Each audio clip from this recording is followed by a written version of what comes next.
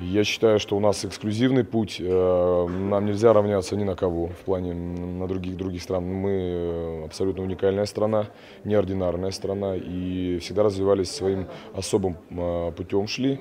И я считаю, что нужно продолжать в том же духе. Но тут, как сказал наш, наш, наш первое лицо нашего государства о том, что есть какой-то генетический код, и это действительно так. В нашей вере православной, в людях, вот в роду. Если есть на что опираться, вот я понимаю, что видя своего деда, э, воспитавшись с дедом, э, на его рассказах про войну, на его отношении к жизни, я понимаю, что я также сейчас мыслю. И также начинаю приучать мысли своего сына и внука. Все семья начинается. Вот в этом родовом таком, знаете, э, передаче вот этого генетического материала, не только в плане физического, но и духовного тоже. Наше православие – это одно из фундаментальных э, основ вообще как бы общества, где очень много можно найти ответов, где очень много найти, где прописаны все э, правильные истины основные, где можно найти себя, где можно найти любовь, где можно найти добро, счастье, э, смысл жизни. Поэтому православие – это как то, что нас очень сильно объединяет.